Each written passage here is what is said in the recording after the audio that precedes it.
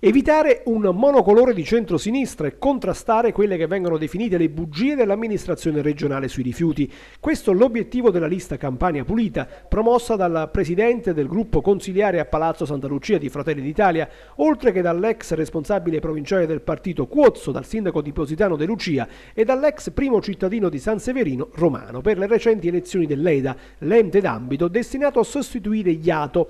per una serie di competenze, in particolare quelle legate al ciclo rifiuti. A dirlo lo stesso Gambino, che ha voluto spiegare i motivi che hanno portato al progetto Campania Pulita, che ha potuto contare anche sul supporto di Roberto Celano di Forza Italia. Gli eletti Nunzio Carpentieri e Giampiero Nuzzo vigileranno in sostanza dall'interno sulla situazione rifiuti, puntando a chiarire i dubbi che per Gambino si stanno profilando. Per l'esponente di centrodestra ci sarebbero contraddizioni tra De Luca ed il suo assessore all'ambiente, nonché vicepresidente Bonavitacola, su una serie di aspetti come discariche, termovalorizzatori ed ecoballe. Abbiamo coinvolto una serie di sindaci, di amministratori della nostra provincia perché ritenevamo e riteniamo oggi più di ieri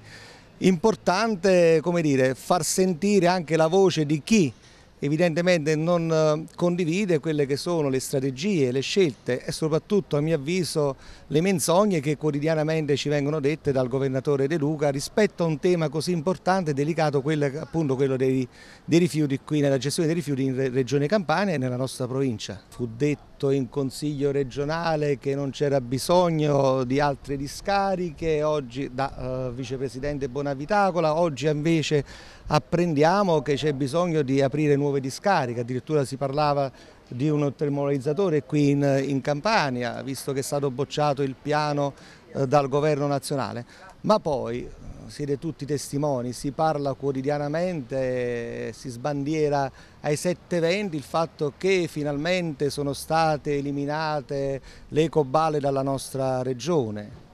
bugia. Sono stati stanziati dal governo nazionale milioni di euro, si doveva andare in gara per, nel corso di quest'anno per eliminare 800.000 tonnellate, 800.000 eh, ecoballe dalla nostra regione. È stata fatta la gara invece per 500.000 ecoballe e udite udite, sapete quante ne sono state eliminate? Da quelle che sono risultanze di interrogazione che il sottoscritto ha fatto ai dirigenti della, della giunta regionale, soltanto 50.000.